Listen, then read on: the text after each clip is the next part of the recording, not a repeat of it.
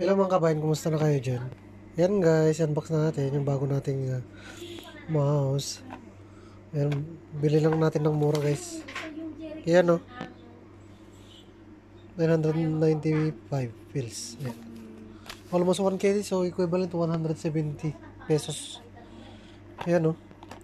Sira na kasi yung kon natin eh. Katatapon na natin yung kon natin, yung mouse natin. Hindi gumana, kailangan natin dito sa bahay. Yan. Yan siya guys, oh. Ayan. Yan, oh. Series game, oh. Okay. Shipado. Hindi kilala, ha? Kaya siguro mura. Diba? Ayan. Compatible siya ng kwan, guys, oh. Windows 2000, 2003, XP, Vista, Windows 7, 10, IBM. Okay, PC. Okay. So, ito na siya. Yun, oh. Oh. Ang galing din ha. Pwede na rin. Meron yung kwan dun, mga Logitech dun. Hindi natin bilhin. Medyo mahal yun.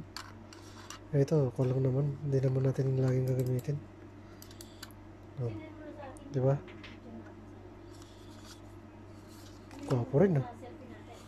Tapos tingnan nga natin. Kung wala siya. Oy, oy.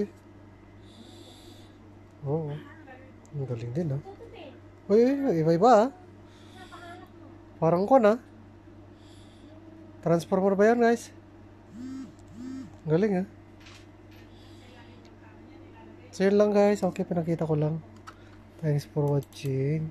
Ingat po kayo palagi. Stay safe, stay healthy. God bless. Ang ganda ng kulay. Galing.